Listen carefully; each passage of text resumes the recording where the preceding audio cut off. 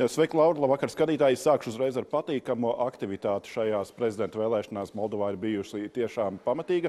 Pirms maza brīža publiskotie Centrālās vēlēšana komisijas dati liecina, ka vēlēšanās nobalsojuši jau vairāk nekā 53, aptuveni 53,4%. Tas ir aptuveni 1 650 tūkstoši no 300 miljoniem uh, Moldovas balsotāju. Uh, un tas ir arī jau vairāk nekā pirms četriem gadiem notikušajās uh, prezidenta vēlēšanās.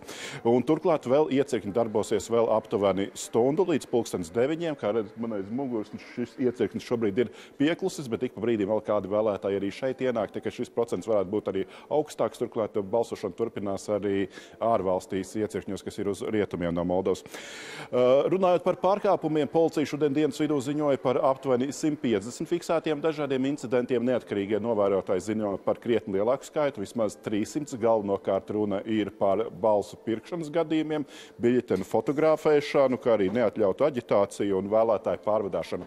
Un šeit jāsaka, vēlētāju pārvadāšana šajās vēlēšanās notiek nevis tādā vietējā līmenī, kad busiņiem vēlētājus saved uz attiecīgi iecikņiem, bet jau globālā līmenī, proti no Krievijas tiek organizēti bezmaksas reisi uz Baltkrieviju, Azerbaidžānu un Turciju, ar kuriem Krievijā dzīvošie Moldāvi tiek nogādāti, lai tur nobalsotu.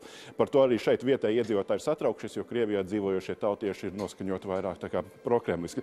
Tai pašā laikā iecirkņi, kas atrodas Rumānijā, Vācijā un Anglijā, šodien ir saņēmuši uh, draudus par tajos it kā izvietotiem spridzekļiem, un tādējādi balsošana tiek traucēta tiem Rumāņu dias, Moldavu diasporas pārstāvjiem, kas dzīvo uz rietumiem, protams, vairāk ir rietumnieciski noskaņoti.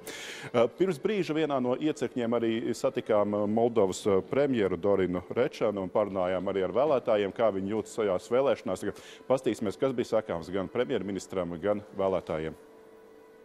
Kremlin and uh, through criminal groups Kremlis un noziedzīgi grupējumi pērk balsis Moldovā, mēģina destabilizēt iekšpolitisko situāciju, mēģina traucēt procesus Moldovā. Ļoti daudz cilvēku, gan parasti pilsoņi, gan žurnālisti un viedokļu līderi saņēmuši draudus par tādu vai citādu rīcību vēlēšanu kontekstā. Mēs redzam, ka šie draudi nāk no Kremļa caur noziedzīgām grupām, ko vada miljardu nozagušais Ilāns Šors.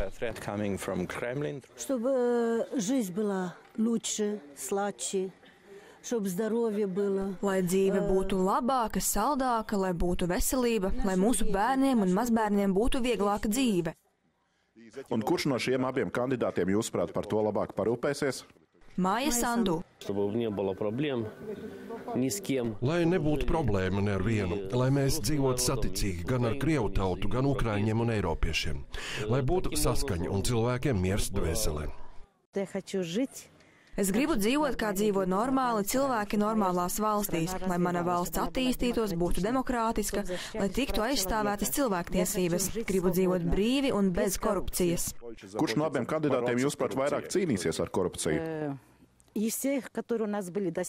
No visiem prezidentiem, kas mums bijuši līdz šim brīdim, tikai Māja Sandu.